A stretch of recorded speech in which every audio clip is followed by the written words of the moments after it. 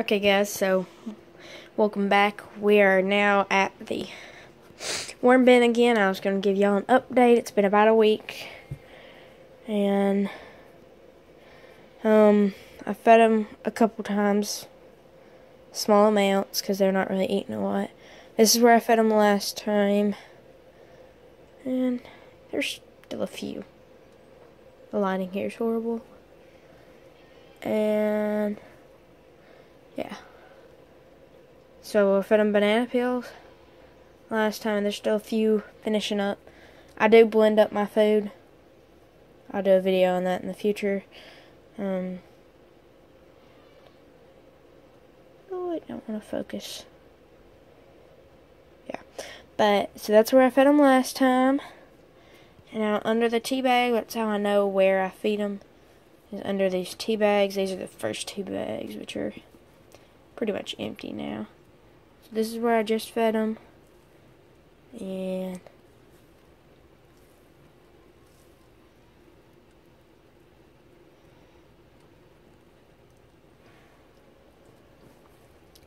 it is just solid worms.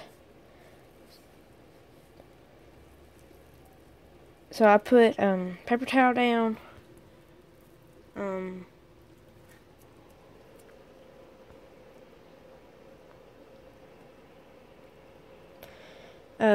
I've been feeding, and as you can see, I just feed right on top of it.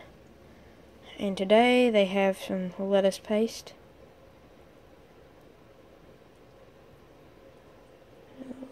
There. So it's just in there, and they all just get on top of it. And I do the mound method. I like it better. And then I just so our tea bags are made out of nylon and they do not eat them. So these, once they're empty, will be thrown away. Um, but I have two more full ones and they eat those. Like I said, it's been about a week and the first ones are empty. So, but, so everybody's doing good. And I just put the burlap over now on this side, which hasn't been fed on, there's almost no worms. There's one or two here and there.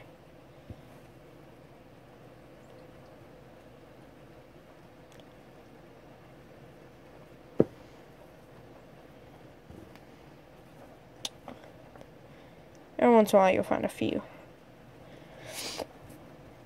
But as you get closer, you usually start finding more and more.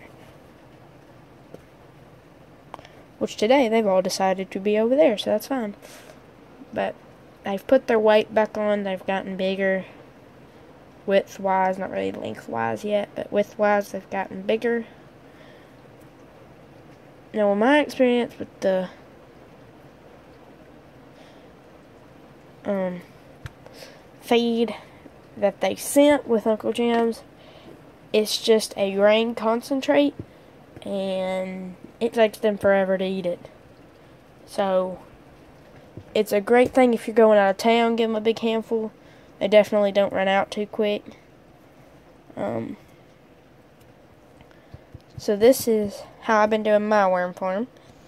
And I just fold that back.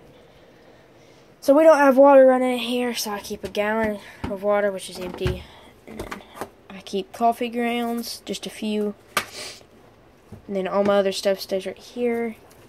These, I freeze my extra food in. I have a spray bottle for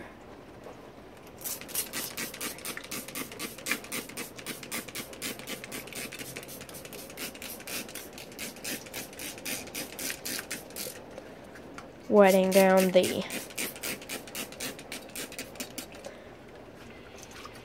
um, burlap with, and then I keep a blender. This is a cheap $15 blender with a spoon in here.